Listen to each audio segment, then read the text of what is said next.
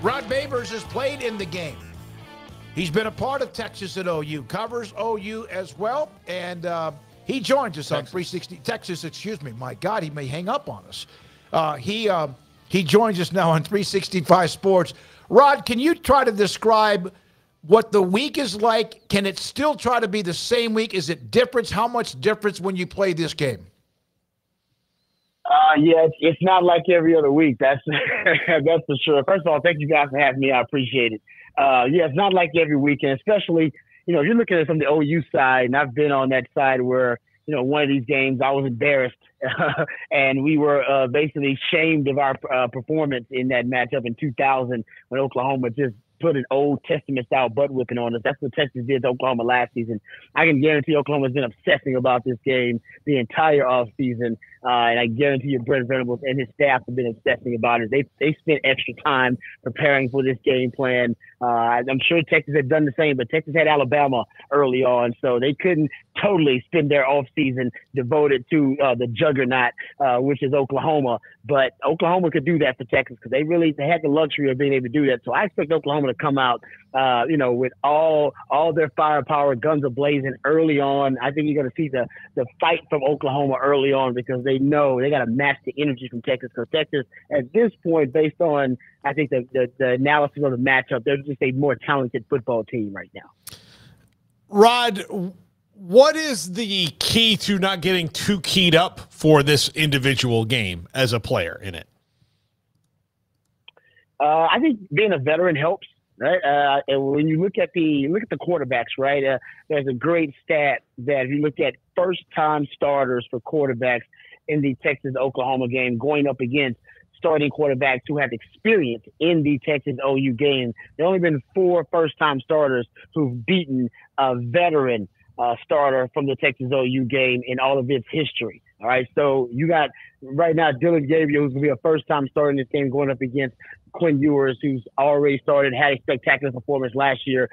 I think it's something about being able to handle the emotion because the environment is so unique right? You got the fans that are split, uh, the, the, fans and the stands split right down the middle. Uh, it's at a neutral site. Uh, that neutral site is the Texas State Fair. Uh, there's so much uh, vitriol and angst between the two uh, two squads and two programs.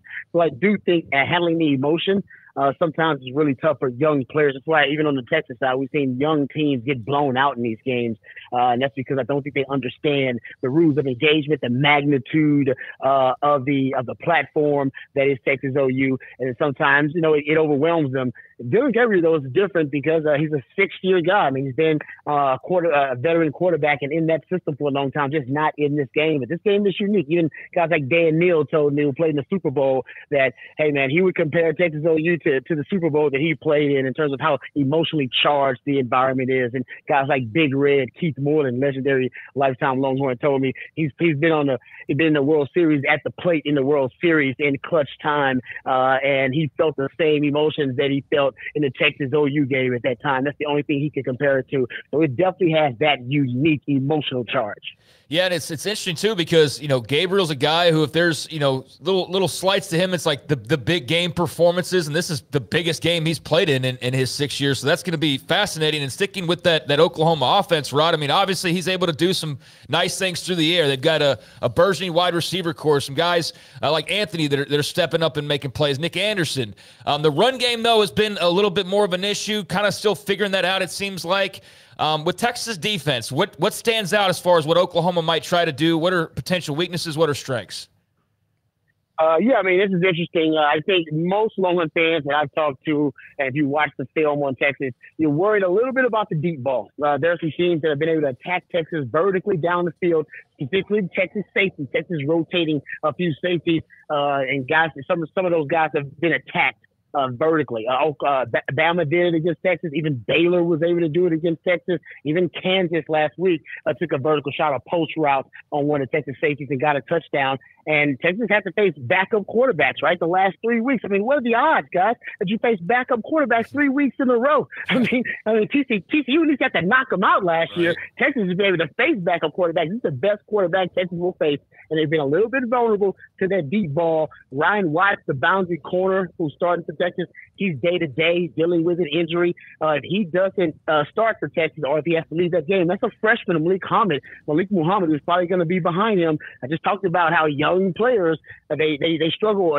uh, you know, handling the emotion of this game. If you're Oklahoma, you're going to go first of all, you're going at Ryan Watts anyway because he's coming off an injury. Uh, and then second, you're going after the freshman is coming right behind him, playing in the biggest game of his career with inexperience. And Dillon Gabriel, one of the things he's really good at, guys, is the deep ball. Right, he's, completing nearly 60% of his passes 20 yards or more down the field. So they stress you horizontally, right, formationally when they have those wide splits, those wide receivers, and then they're going to stress you vertically with a deep shot. That's how they try to make the run game work. Try to make you play with light boxes. Put put your uh, safeties in no man's land. Get them stranded so they're late to the to running the alley to support the run. Texas safeties, Jalen Catalon specifically, he's really good at depth supporting the run, coming up and running the alley. I think he's the guy that's going to play a lot in this matchup. Rod, you, we mentioned and asked about the week of and, and how hard it, it's not just another game. It, it is Texas OU.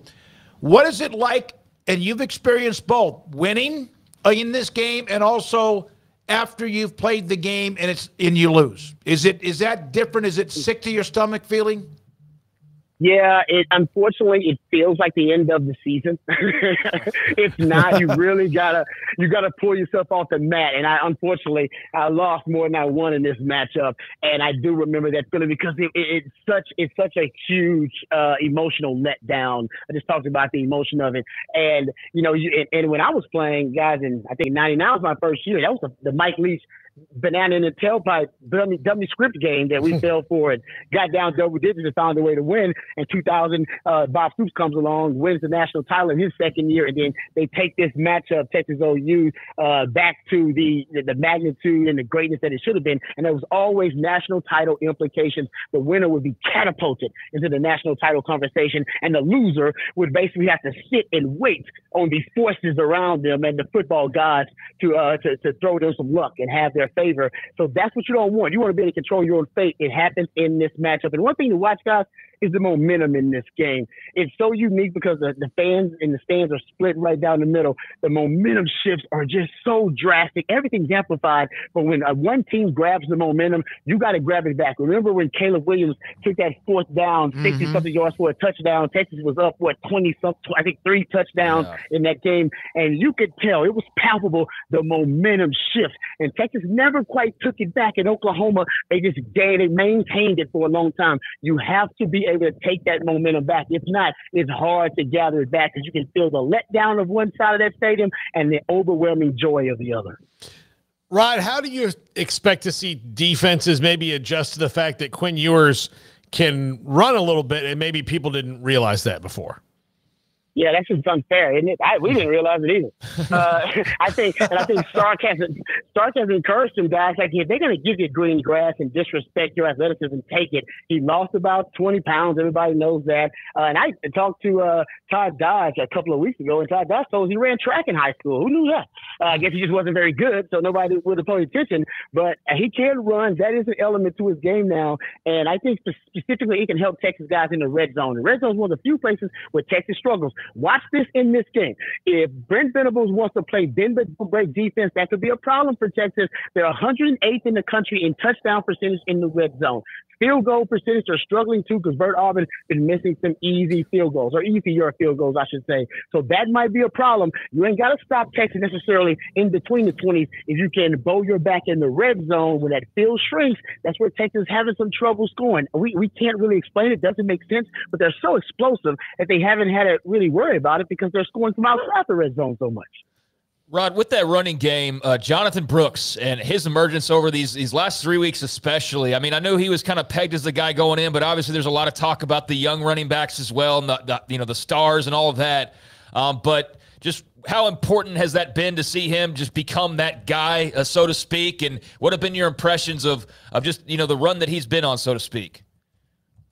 Oh yeah, it's unbelievable, guys. I mean, post Bijan and Rojo, I mean, we had no idea that the running game was going to be a strength for the team. The assumption was that the running game you know, was going to be a complementary piece to the passing game with all those weapons, JT Sanders, AD Mitchell, and X-Men. But now you're talking about a running game being a strength. Now you have to actually allocate resources to stop the running game. That's a mathematical equation, guys, that most defense, defensive coordinators can't solve. They can't double X-Man, put a safety over the top of JT Sanders, and decide to stuff the box to stop the run. And that's what makes the job for Sark easier, and it makes Quinn Ewers' job a whole lot easier. And does not discount the offensive line, guys. The maturity of this group. I mean, they average about 325 pounds, biggest offensive line in the Big 12. Uh, the massive Big Humans project Sark talks about is actually coming to fruition. Hey, Rod, uh, appreciate the passion and more. As a guy that played at Texas, and obviously you bleed burnt orange, when you have to give an opinion about them, when it's been a tough game, or there's, I mean, do you ever get any blowback from that at all? Oh yeah, I've gotten plenty, man. I've gotten plenty. I've gotten plenty from the 40 acres behind the burnt orange curtain itself, uh, and I've gotten some fans too that think I'm a little too negative. But you know, this is the why this season is so special because I don't really have to be negative. There's not a lot of bad things to say about this team. Mm-hmm. Uh, there's it's a lot of substance to this team, and I'm not going to say Texas back. I'm not going to go that far and scare people, but I will say that I think this team is for real. Uh, and so I've been pretty positive. I have been more positive than most of the fans this year. They they're so used to negativity, guys. They've been yep. looking for stuff to complain about. They've been like, hey, what's up with the rotation of wide receivers? I'm like, do you really care about that after you beat Bama? Who right. gives a damn? Yeah. the rotation of wide receivers. no, I get it. I, I, get it and love the truth serum. That's why we have you. We appreciate your time. Anything else? Uh, Rod Babers, former Texas corner, and covers them as well with a couple of different media outlets, including uh, The Horn down in Austin. We appreciate it, Rod. Have a great weekend. Have fun. Hey, thanks you guys for having me on anytime you need me. Yes, me sir. Know. Yes, sir. Rod Babers uh, also uh, is also a part of what is on Texas football uh, at on Texas football with anal- analysis of UT. Yeah. So uh,